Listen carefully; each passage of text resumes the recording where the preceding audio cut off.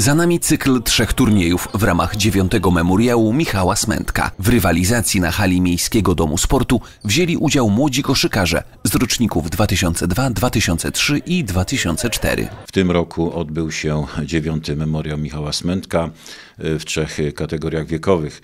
Pierwszą z nich była kategoria kadeta B w którym nasz zespół plasował się na miejscu drugim. Następnie e, walkę w, koszyku, w, w piłkę koszykową podjęli e, kategoria wiekowa młodzik.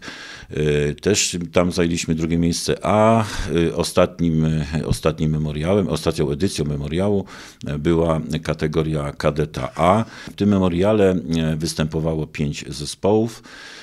Były to zespoły z Piaseczna, e, Skierniewic, e, Przeworska i Katowic, a więc bardzo solidne, dobre, dobre drużyny, a gospodarzem, jak już wspomniałem wcześniej, był, był MUX 18-11 Tarnów.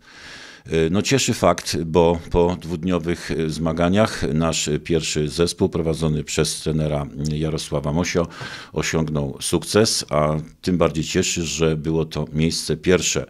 A więc właściwie od pięciu lat, od kiedy, od kiedy prowadzimy, prowadzimy memoriały, choć jest to dziewiąty memoriał, bo poprzednie memoriały e, były prowadzone przez Unię, Unię Tarnów. Po raz pierwszy nasz zespół osiągnął pierwsze miejsce i zrobił to w naprawdę doskonałym stylu.